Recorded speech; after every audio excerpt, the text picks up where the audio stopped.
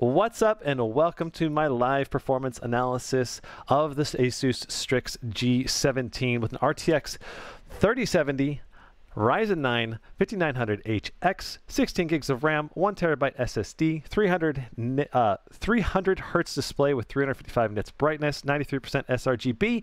Uh, this thing is one amazing laptop, uh, and in my review, I talk about the performance, but I don't go into detail, like intricate detail. And in this analysis, I'm going to try to go into much greater detail. Now, since I am doing this live, I will try to answer some questions from chat in the middle and then at the end. So, chat, if you want to prepare prepare some questions for during the intermission, um, but just keep the questions related to the Strix G17 and the performance numbers that we're looking at if you can. Um, and if there's no questions, that's fine too. But let's go ahead and get this started. So first of all, the power limits are extremely important. Um, now during the Heaven benchmark, the RTX 3070 ramps up to 127.5 uh, watts on average and this is basically the the level of performance that's like sustainable when the GPU is engaged and the CPU is very low usage. Now when you're doing a handbrake render test with the CPU, so this is the CPU only test, uh, we got 76.5 watts of power. So these are really good numbers um, overall, and I think better than last year's model, though the Strix G17 did get pretty close to this number for the CPU, but that is an Intel CPU, so a lot less performance for the same wattage. Um, and then the GPU, I believe, was more like this number for the RTX 2070. So now we're getting extra bit of wattage into the GPU, giving us more performance than we had in the previous generation. Now, these two numbers right here, um, the 54 and 111, these represent the dual stress test. So when we're taxing the CPU to the max and the GPU to the max using the Heaven benchmark and the Firestrike physics test. Now, the key thing here is that when both are engaged, Dynamic Boost basically cannot uh, fully utilize both the CPU and GPU to the maximum potential, which is the numbers we see up here. So uh, basically, yeah, it's basically when you have both engaged, you get slightly reduced performance. Now, in my now for raw 3D performance, we have Time Spy graphics, uh, and this is kind of where we start getting NVIDIA Optimus involved in the discussion because the laptop on uh, the, the laptop CPU and GPU basically work in tandem to display the video output from the NVIDIA GPU, routing the video from the NVIDIA RTX 3070 through the Radeon integrated GPU in the Ryzen processor. And this is the key here that enables FreeSync on the integrated GPU, and that prevents screen tearing and extends your battery life when you can turn off the graphics card. But the downside is well, that basically uh, adds a bottleneck to CPU bound games. And so when we hook up the laptop to an external display, we get additional performance. And this is because we're bypassing NVIDIA Optimus. Uh, and I made a whole video about this. If you want to go check that out, there is a link in the description down below later, not right now, but on my main channel, there's a video talking about uh, the whole debacle of like losing a bunch of frame rates, especially in CPU bound games and esports titles. So, yeah. Um, now, in terms of 3D brown, uh, in terms of 3D bound stuff like Time Spy, you get very minimal performance loss. You can see the difference here of 10809, uh, so about a little over 300 points between these two. Uh, and so with when you bypass NVIDIA Optimus, you just get that nice little performance bump. And these numbers are really good, I think, for a laptop, especially around the $18, especially for around a, especially for a laptop around the $1,800 price point. So uh, you can see uh, look at look at these numbers, right? So we have the Strix. All three of these top numbers are from the Strix G17, and then look at these numbers, right? These are from the last couple years, uh, and we've got a 2080 Super Max P putting out 10,009, right? That was a little lower than I thought the Alienware would actually put out on this M17R3. Um, and we're outperforming that. And look at the price difference. It's a $1,300 price difference on how it's spec'd as well. Uh, and so that just goes to show you, like, you're getting some insane bang for the buck with this G17, uh, and uh, I'm just really impressed, at least with the synthetic numbers. Uh, that said, let's keep going. So, Time Spy points per pound. This represents the graphical performance you can take with you on a per pound basis. So, this kind of helps represent the performance that maybe a super thin and light laptop like the GS66 Stealth might provide to you. Uh, but the interesting part about this whole thing is that this RTX 3070 is giving us insane performance per pound because uh, it's it only weighs six pounds. The the G17 only weighs six pounds, and yet we're still getting so much performance. So uh, 1800 points per pound. Now, our points per dollar, again, tops out the chart. This goes to show you just how much value you're getting from the Strix G17. And it's just, it's it's insane. Like, it's kind of, it just really knocked my socks off when I made these graphs. I was like, holy crap, this is in a whole new class of performance per dollar than anything we've seen before. Because when you look at these, this is an $800 laptop. It's, it's crazy performance per dollar. It's a 1650 Ti. Um, and yet, even though this costs more than twice as much, it's providing more than double the performance. So just incredible and i can't wait to see the performance per dollar graphs for like i don't know like a thousand dollar uh 3060 max p gpus we might we might surpass this. I don't know. It's hard to say. Um, Cinebench R23. So this is a, an example of an extended CPU render performance. So we've got 13,466. This is just an incredible score. My Alienware Area 51M with an i9 9900K that hits 153 watts in this exact test. I measured it. Uh, only caught 11,632.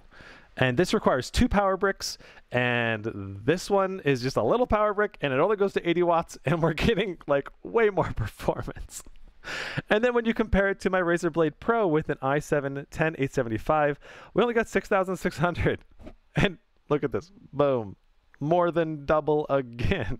It's like, oh my god the, the performance disparity between the 8 core Intel and the Ryzen 9 5900HX, at least in Cinebench, is absurd. Now, we're going to take a look at some handbrake tests as well. That kind of gives you a better idea of real world performance difference, and it's not quite as crazy as this.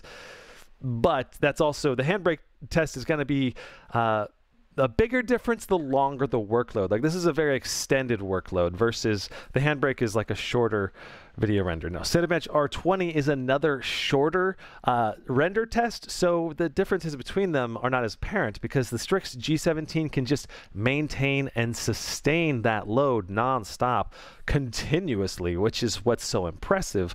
Whereas, like the Razer Blade Pro will ramp up with turbo boost for a little while and then it'll go down. Um, so this might score a little higher than 3600. Uh, but when you continuously run Cinebench R20, the score drops down to this, this point. Now, this is the throttled score, so this means that whenever you're running a Cinebench R20, the first time you do it, turbo boost, the initial boost is a higher wattage, and then after 26 seconds, usually it drops down to a lower wattage, and that's the long power limit. Now, so this basically represents the long power limit potential of each laptop, at least in Cinebench R20. Um, Cinebench R20 points per pound. This sucker uh, is solid on points per pound for Cine, uh, Cinebench performance, but it's not amazing. This graph will eventually be updated to Cinebench R23, um, but I don't have enough data to swap it over to that. I think I think the Strix G17 would score higher on this comparison in a Cinebench R23 graph. Um, same for this one. I'm eventually going to switch over to Cinebench R23 when I have enough data. But you can see this is still number two for points per dollar. So for $1,800 spent, you're still getting just so much performance per dollar. Okay, so Handbrake 4K render time. Now these two at the top here are desktop CPUs in a laptop, and you can see that they did quite well in the Handbrake render time. Now this is a uh, this is a 16 core CPU, and this is an 8 core desktop CPU, um, and this is just a straight laptop CPU that has great battery life, is in a much thinner chassis. Like both of these top two are super thick and beefy laptops, um, and yet this one's still doing so well comparatively speaking. Now, uh, you can see the temperature, the power limit, and the average CPU clock as well here on the left if you want to take a look at that later. Now, this is the noise comparison between the 2020 Asus Strix G17 and the 2021 Strix G17. So you can see that depending on uh, what power profile or fan profile you set the laptop to, there is a dramatic difference in performance. The 2021 version has noticeably less decibels. So I, I so you can see it's about three decibels roughly, uh, except for the max fan mode where you get a little bit louder um, on the new one actually. So about two decibels difference on the max fans. Now, Asus ROG Strix uh, Heaven plus Firestrike stress test. So this tests the temperatures, right? So this is the 2020 version, and you can see the temperatures are quite high on the CPU, especially with manual fans going maximum speed. We still only got 89 degrees Celsius. That's pretty spicy on the temperatures. Um, so yeah, now if you go ahead and jump over to the new ones, you can see that we have dramatically improved thermals for almost all of the different fan profiles, except for these two, I believe. Now, keep in mind that in manual fan mode, you can actually set the fan curve to be whatever you want. And so if you want like an in-between, like turbo and manual, you can do that and kind of find the middle ground here. And also, I want to point out that these temperatures will tend to run a lot higher than you'll actually see in real games. Real games have much much reduced temperatures because this is a dual basically 90 plus percent load on the CPU and GPU and very few games can put that kind of load on a on a uh, on the hardware. Um, but overall, this is still a really impressive uh, clock speed, being able to maintain when it's a dual load on the GPU and the CPU, right? Because oftentimes laptops have to severely throttle or power limit their hardware so that they don't overheat. But because we have such power efficient hardware in this laptop, we're just getting really great performance even under a dual load stress test. Now I benched, now now I did 15 different benchmarks and you can see that it is quite crazy on the performance scale overall. And the thing is, these are basically max settings on almost every single title, uh, even in things like Cyberpunk 2077. You know, we got RTX on Ultra. Uh, graphic settings on ultra, DLSS on quality, and we're averaging 56 FPS with 41%, 1% low. So we're getting some really great performance, and we're going to see how this laptop stacks up against some of the other laptops here in a second. Now, I'm going to go ahead and check the chat and see if you guys have any questions related to the performance of the Strix G17. Okay, so how we doing, chat?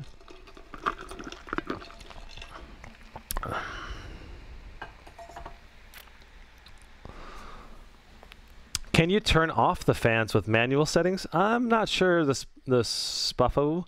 Um, like I got the laptop right here.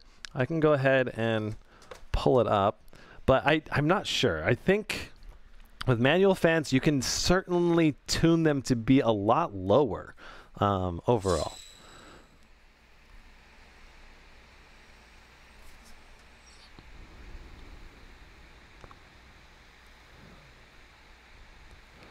Jojo, this is the laptop that we're giving away, the Strix G17. It seems like TDP is the selling point for performance, and an RTX 3060 high TDP can blow out the RTX 3070 at low TDP. That's something that we're noticing, Joey, in a lot of these new RTX laptops is that if you have a low TDP a version and a high TDP version, that can make a big difference. And I think the other thing to keep in mind with this whole thing is that a lot of reviewers are not realizing how NVIDIA Optimus is impairing the performance of the hardware, right? Like it, it's it's funneling the the video output through the integrated GPU, uh, and like the ASUS TUF Dash F15, for example, that's an Intel-based uh, processor, but it's still using Optimus, and so uh, I saw some really bad benchmarks on a few different uh, reviews that implied that it was much slower than the RTX like 2070, 2060. Um, and it shouldn't be in theory, right? Even a Max-Q version should be able to at least compete or beat them by a little bit. But I think it's because of NVIDIA Optimus that we're seeing a lot of this disparity as well. So I think when you're looking at the, the differences between all these GPUs, you gotta keep all of the, the, the, the Optimus bottlenecking in mind uh, whenever you're looking at these reviews. Asks, hi, can you tell how good the backlight bleed, bleed on the laptop is, and can you disable RGB light from the bottom panel? So you can disable the RGB lights on the machine all the way around uh, just by uh, using FN and the RGB light button, and that disables it on the keyboard and the under lights. Um, and then the backlight bleed, I never noticed it when I was using the laptop at all, but I did not do a hard test. I probably need to focus on that more, but I've never really been bothered by backlight bleed very much unless it was really bad. Um, but I need to add that into my testing to be more thorough. Um, Alienware M17 R4 has Optimus Advanced. Do you think the difference the bottleneck that the Strix has will level up with the Alienware with the i9? I do think the Alienware M17 will probably perform a little better in esports titles because of Advanced Optimus. If it truly is making that NVIDIA GPU access the laptop monitor directly, then then that's a, a really good thing. And that could also maybe warrant the price difference, right? Because I think the Alienware starts at $200 more. And whenever you include something like Advanced Optimus, that increases the cost of a laptop as well. So you don't get an Advanced Optimus for free. Uh, that I know of. Like that's the that's the best knowledge that I have right now. Um, I don't know how much it costs though uh, for a manufacturer to actually do it. Does the 2021 model have the same thermal design as the 2020 model? Uh, I have not. I, I no, they do not have the same thermal design because uh, there's a number of differences between them. First of all, you've got liquid metal and it's an AMD CPU. Both of them had liquid metal, first of all. They both had liquid metal when I tested them. But uh, the new uh, fans in the new version are quieter and they move more air. Um, and they're improved in that in that sense. Has it ever thermal throttled?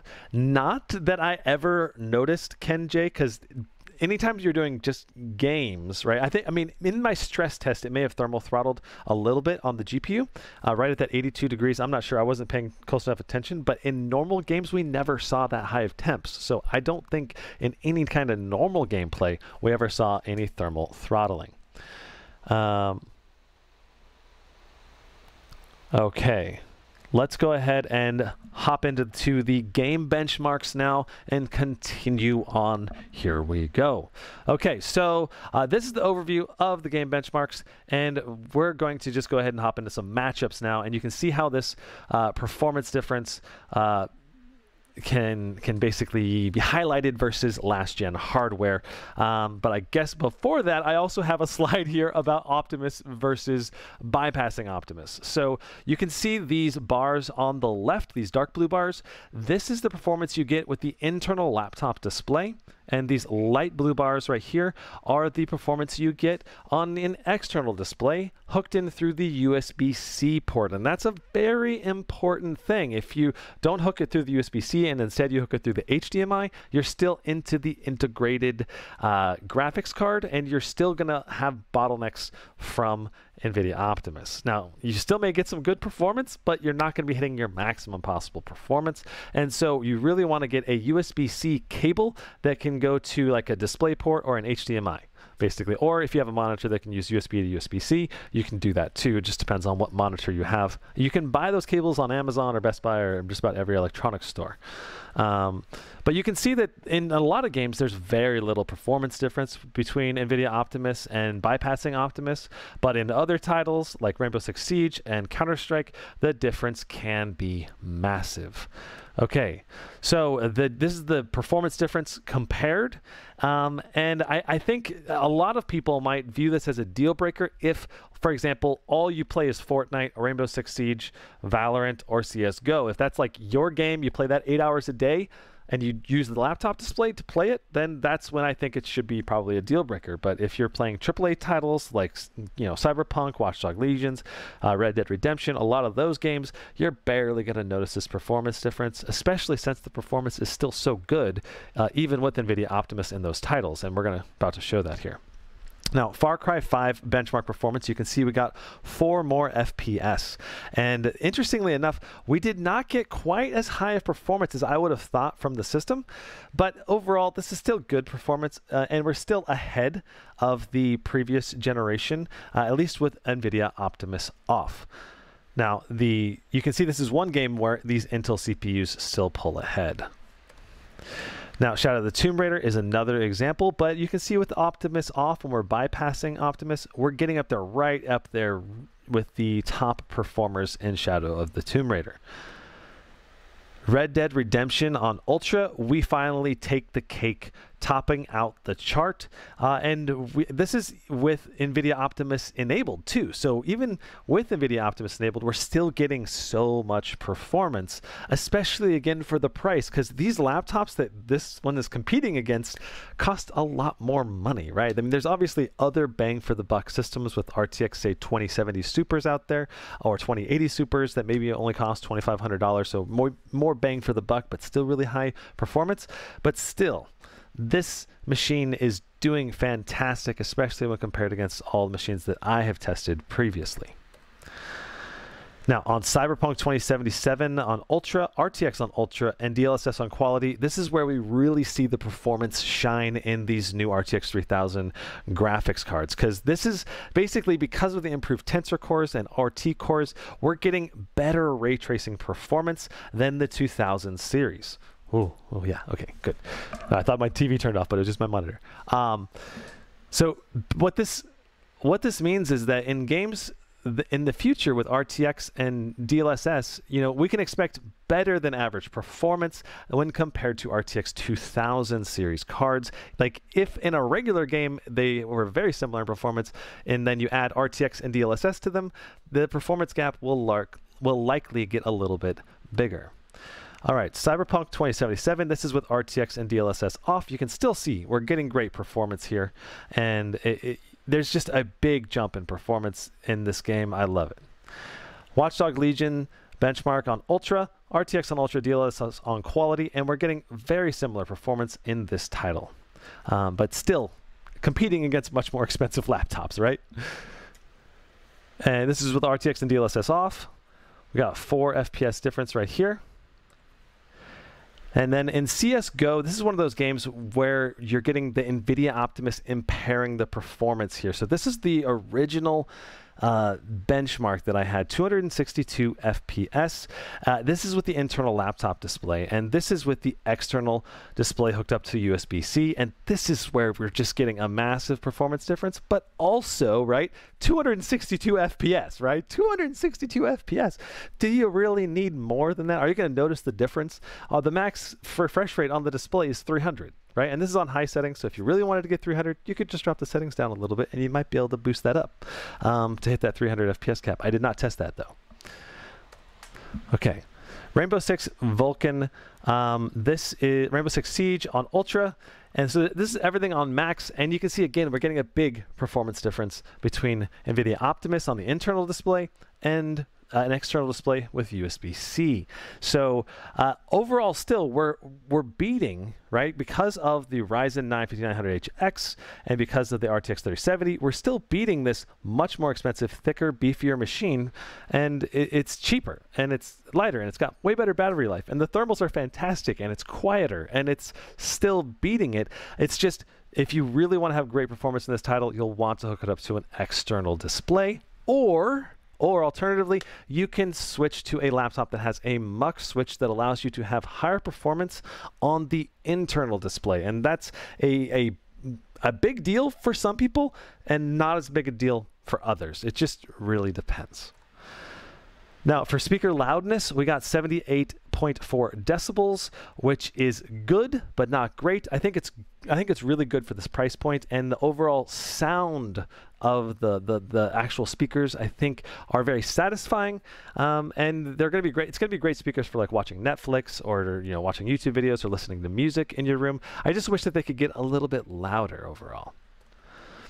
Now for battery life, you know, I went over this in my review, but basically you can kill this thing really fast if you just do some gaming or CPU rendering, or you can extend it out. And I think these are actually pretty conservative estimates. I think you might be able to go past this. I saw some battery life tests that were done. And keep in mind, this was just on my estimated values. These are not uh, hard values that I was able to measure because it just takes too much time.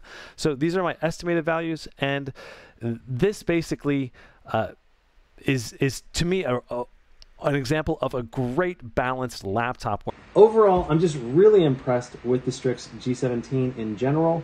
Um, and I can highly recommend it to people from a perspe- uh, from a price to performance standpoint, from a thermal standpoint, from a battery life standpoint, from a usability standpoint. Just if you're an esports player and you always play on a laptop display, you may want to consider another laptop. I think that's the biggest deal breaker from a pers- from a performance perspective. That's that's like the biggest deal. When can we buy this?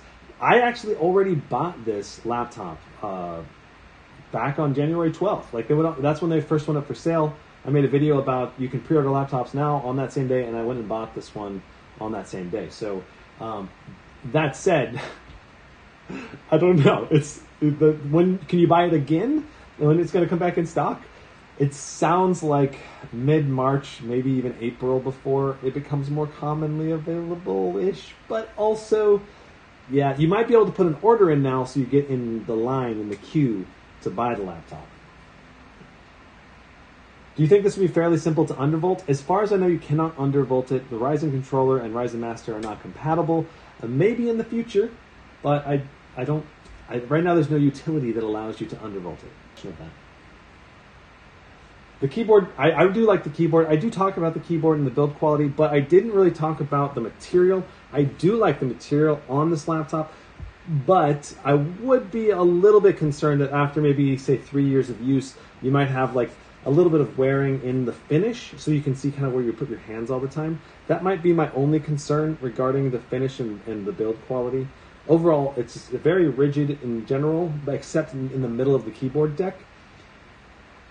I just really like the, the chassis for the price point. There are more premium chassis, like uh, the Aorus 17G is a full metal chassis. It's a little bit better. The, the Razer Blade, I think even the Alienwares are maybe just a little bit better, but for the money, that's the thing. For the money, it's it's it's really great. I think.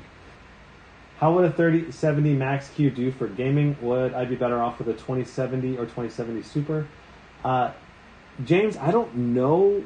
I'm pretty sure a 3070 Max Q should beat those GPUs in theory, unless you have a really high wattage 2070 Super versus a really low wattage 3070 Max Q. But and the other thing is to keep in mind, NVIDIA Optimus. A lot of these benchmarks that are coming out for the 3070 Max Qs, I think NVIDIA Optimus is impairing the performance somewhat, and so uh, you can't really. You got to make sure that you're getting the full details on the performance for the 3070 Max Q laptops right now, because I think a lot of reviewers are just waking up to this whole NVIDIA Optimus uh, reducing performance issue. So, yeah. What's my opinion on portability? This is not the most portable laptop, but at the same time, it's super portable in my opinion. Fits in my backpack super easily, and it's much lighter than my Alienware. It's, it weighs the same as the Razer Blade Pro 17 that I normally carry around. So I think it's pretty portable to me. I'd, I'd haul it around all day on campus, especially since you don't have to take the power brick. You've got great battery life. That helps reduce the weight as well. Anyway, uh, that's it for this stream. Thanks so much for tuning in, and I will see you guys in the next review or live stream, which may happen later or not. I don't know. Either way, I'm definitely doing a giveaway for the Asus Strix G17 tomorrow at 1 p.m. Maybe that's when I'll do the, the Aorus 17G benchmarks. Hmm. Also, pretty cool thing I want to mention as well is uh, I'm going to be doing a live stream with Jarrod's Tech, Owner Disown, um, Bob of All Trades, and Radok, and that's going to be like in a week or so. It's going to be pretty cool we got a lot of interesting topics we're going to discuss, and it should be a pretty interesting collaboration. Look forward to hanging out with those guys and chatting. So, anyway, thanks, guys. I will see you in the next one. Brandon out.